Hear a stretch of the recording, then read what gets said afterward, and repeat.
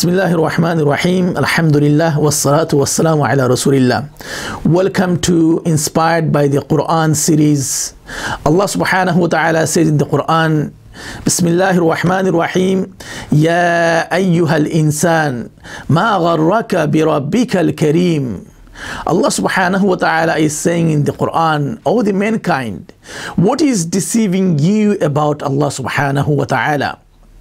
Allah subhanahu wa ta'ala has created us. And then Allah subhanahu wa ta'ala is asking us, al insan, the mankind, that what is keeping us away from Allah subhanahu wa ta'ala? What is not allowing us to get close to Allah subhanahu wa ta'ala? What is the obstacle that we can't get close to Allah subhanahu wa ta'ala? So Allah subhanahu wa ta'ala is asking, Ya ayyuha insan, ma gharraka bi rabbika al-kareem. Gharra yaghurru ghurur is deception. What is deceiving us about Allah subhanahu wa ta'ala? And this is why Allah subhanahu wa ta'ala also mentions in the Quran in a different verse by saying, وَمَا الْحَيَاةُ الدُّنْيَا إِلَّا مَتَاعُ الْغُرُورِ That the life of this world is nothing but a deception.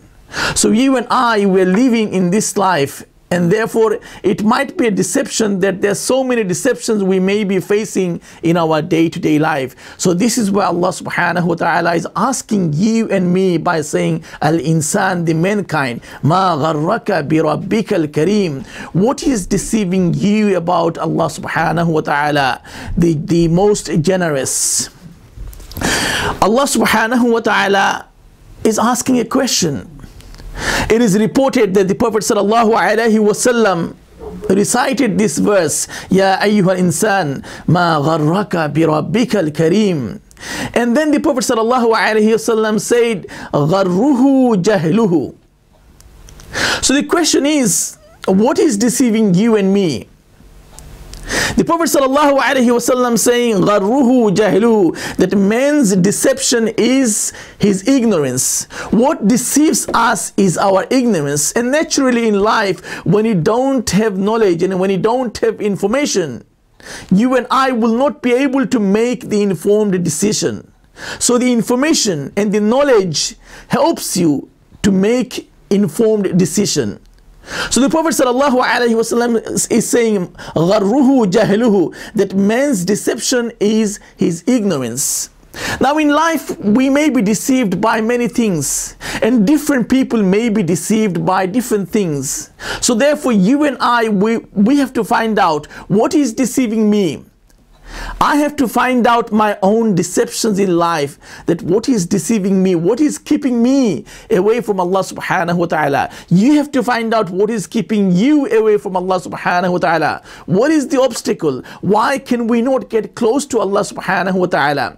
So therefore different people may be kept far away from Allah subhanahu wa ta'ala with different things, with different deceptions. It could be the family, it could be the job, it could be the career, it could be the wealth, it could be the poverty, it could be the education, it could be arrogance, it, it could be ignorance. So these are different things which can deceive you and me and can keep us away from Allah subhanahu wa ta'ala. But one can say, perhaps the highest of all deceptions and the mother of all deceptions as the prophet sallallahu alaihi wasallam says gharruhu jahluhu that man's deception is his ignorance. So therefore if we remain ignorant in our life then that will be a deception that will not help us to know about Allah subhanahu wa ta'ala. And the less we will know about Allah subhanahu wa ta'ala the distant we will remain from Allah subhanahu wa ta'ala. The more we will know about Allah subhanahu wa ta'ala the closer we can get to Allah subhanahu wa ta'ala. So, th so therefore, if the obstacle between me and Allah, between you and Allah is al-jahl, is the ignorance, then we have to remove that obstacle. We have to remove that barrier because that is not allowing us to get close to Allah subhanahu wa ta'ala. And if we want to remove ignorance from our way, there is no other services which can remove jahl. The only thing which can remove jahl, ignorance from our way, it is al-ilm, the knowledge. Because only knowledge can remove jahl, ignorance from the way, which is blocking the way, which is not allowing you and me get close to Allah subhanahu wa ta'ala. So therefore, the only way we can remove the ghurur, the deception, and the deception is al-jahl, ignorance. The only way we can remove al-ghurur, the deception, al-jahl, the ignorance, is through al-ilm, the knowledge. And this is why the Prophet ﷺ says, Al-ilmu bi that you and I, we gain knowledge through learning, through at-ta'allum. So if we want to gain knowledge, so that we can remove ignorance and we can get close to Allah subhanahu wa ta'ala, then we have to gain knowledge. And the Prophet ﷺ is saying that you and I, we can acquire knowledge through learning. Al-ilmu bi and a ta'allum or learning is a process which requires you and me to be able to sit down, you and me able to plan out, you and me able to concentrate and think and reflect and then gain knowledge. Because knowledge just cannot be gained randomly. If we try to gain knowledge randomly through attending random classes, we will gain some information, some knowledge. It is like we are piling bricks, but we will never be able to build a house.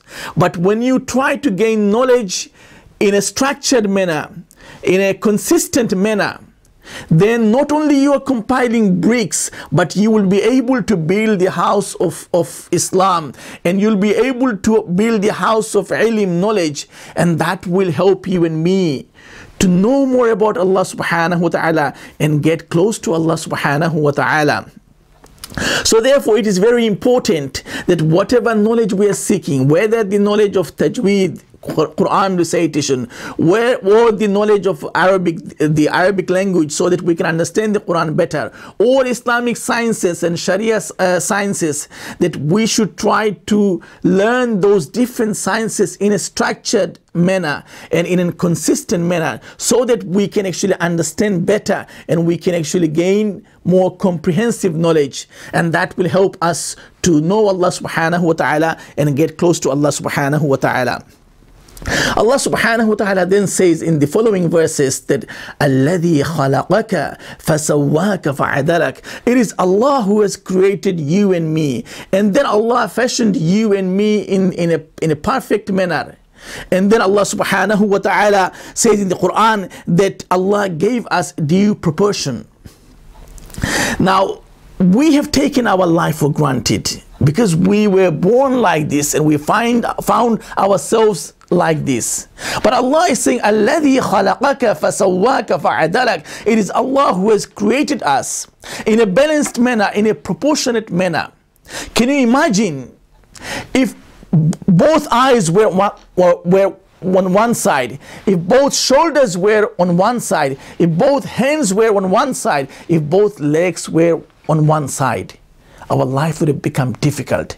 And not only that, Allah subhanahu wa ta'ala also created us in a proportionate and in a balanced manner. So the eyes are on the same level, the shoulders are on the same level, the hands are on the same level, the legs are on the same level. Imagine having eyes, one eye above and the other below. Imagine having one hand, one shoulder above and the other below. Imagine having one hand long and one hand short. Imagine having one leg short and one leg uh, long.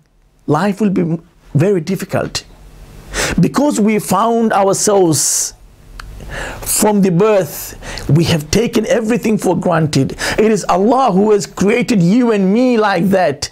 So we should be grateful to Allah subhanahu wa ta'ala. So Allah says, Fi suratin ma sha'a In whatever surah, in whatever form, in whatever shape Allah wanted to create you and me. We should be grateful and thankful to Allah for giving us such beautiful functioning body which allows us to go about in our day-to-day life. Allah subhanahu wa ta'ala then talks about the people who deny the day of judgment. That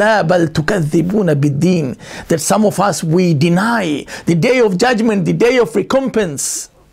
And then Allah subhanahu wa ta'ala says that وَإِنَّ عَلَيْكُمْ لَحَافِظِينَ That Allah has appointed over us لَحَافِظِينَ كِرَامًا كَاتِبِينَ Honorable, respectable angels, scribers who are being appointed over us so that they can scribe whatever you and I do. يَعْلَمُونَ مَا تَفْعَلُونَ They know what we do. It is not that difficult to understand nowadays because people, through the help of technology, they can see everything can be recorded. So the angels are there to record every single deed you and I do in this life. And that will be presented to us on the day of judgment, on the day of recompense. Allah subhanahu wa ta'ala then says, إن الأبرار لفي نعيم وإن الفجار لفي جحيم Surely al-abrar, the pious people, they will be in Na'im, in Jannah. وَإِنَّ الْفُجَّارَ لَفِي جَحِيمٍ And the fujjar, the evil people, they will be in Jahim, in hellfire. And then Allah subhanahu wa ta'ala says, يَصْلَوْنَهَا يَوْمَ الدِّينِ They will enter the Jahannam on the day of judgment. وَمَا هُمْ عَنْهَا بِغَائِبِينَ And none of them will be left out. There will be no absentees. So anyone denying Allah subhanahu wa ta'ala, anyone denying the day of judgment, the, accountability and the responsibility will not be able to get away. Nobody will be absent. Everyone will be part of the accountability and will be brought forward on the day of judgment by Allah subhanahu wa ta'ala. And then Allah subhanahu wa ta'ala says, وَمَا أَدْرَاكَ مَا يَوْمُ الدِّينِ What will make you understand, what will make you realize what is the day of judgment? ثُمَّ مَا أَدْرَاكَ مَا يَوْمُ الدِّينِ And again Allah says, what will make you understand, what will, what will make you realize about the day of judgment. And this is the Quranic style that Allah asks a question and then He repeats the question and He asks, asks you know, what will make us realize, what will make us understand. Allah subhanahu wa ta'ala says, يَوْمَ لَا تَمْلِكُ نَفْسٌ لِنَفْسٍ شَيْئًا وَالْأَمْرُ يَوْمَئِذٍ لِلَّهِ On that day, nobody will have any power. يوم لا تملك نفس لنفس شيئا You and I will have no power on the day of judgment. والأمر يومئذ لله and the matter is with Allah subhanahu wa ta'ala. It is in the control of Allah subhanahu wa ta'ala on the day of judgment. Now, if we look at some of these verses, and if we look at the, the, the first verse I cited, Allah said, Ya ayyuhal insanu ma gharraka bi rabbika al-kareem. Oh, the mankind, what is deceiving you about Allah subhanahu wa ta'ala? Keeping you away from Allah subhanahu wa ta'ala. Not allowing you to get close to Allah subhanahu wa ta'ala. And then I mentioned that it is the jahal, it is the ignorance. So therefore, if we remain in jahal, in ignorance, then we become jahil, ignorance. And those who are jahil, they become fujjar, evil. And when you become fujjar, the destination is jahim, the hellfire. On the contrary, when you and I, when we try to gain ilm, knowledge about Allah subhanahu wa ta'ala, about our existence, about our duties and responsibilities. So when we try to gain knowledge, we become knowledgeable people, we become alim, we become learned. Yes, it varies. Some people will be highly knowledgeable and, and others like us will be less knowledgeable. But if we gain knowledge, then we are more informed. And when you gain knowledge, then you become part of abrar, the pious people. And when we become abrar, pious people, then the destination is Na'im, Jannah. So Jahil leads to Jahil, which leads to Fujjar, and that leads to Jahim, hellfire. Ilim leads to Alim, and that leads to Abrar, and that leads to the final destination, and Naim, the paradise. It is very important that we try our best to remove ignorance from our life and we gain knowledge so that we can make informed decisions and choices. And therefore we will know Allah subhanahu wa ta'ala better and we will not be deceived about Allah subhanahu wa ta'ala, the one who created us and to him is our return. I pray to Allah subhanahu wa ta'ala that Allah gives us the opportunity to gain comprehensive knowledge about Allah subhanahu wa ta'ala so that we can worship Him and we can become successful in both worlds. Assalamu alaikum wa rahmatullahi wa barakatuh.